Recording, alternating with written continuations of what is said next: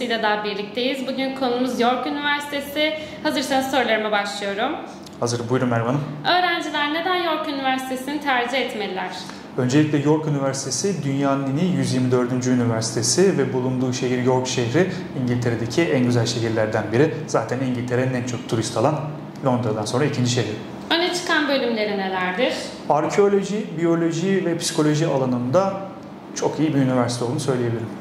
York Üniversitesi'nde hangi tür programlar bulunmaktadır? Foundation, lisans, pre-master ve yüksek lisans programları var. Başvuru şartlarından bahseder misiniz? Tabii ki lisans için ortalama, lise, lise not ortalamasının 70 ve üzeri, ALS'tan da 6.0 ve üzeri puan almak gerekiyor. Yüksek lisans için de e, lisans not ortalamasının 3.0 üzeri ve ALS'tan da 6.5 puan almak gerekiyor. Ücretleri ve burs imkanları nelerdir? Lisans için e, 20 bin ile 24 bin pound arası, yüksek lisans için de 23 bin pound ile 26 bin pound arası ücretlendiriliyor.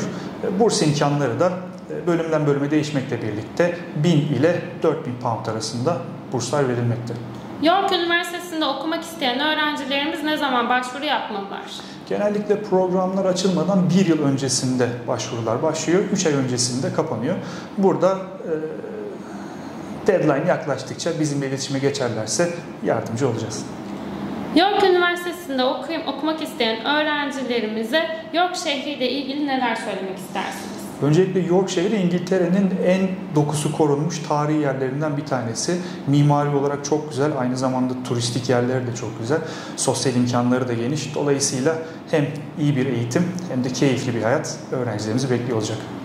Soru cevap videomuzun sonuna gelmiş bulunmaktayız. Sorularımızı yanıtladığınız için teşekkür ederiz. Bir sonraki soru cevap videomuzda görüşmek üzere. Hoşçakalın. Görüşmek üzere.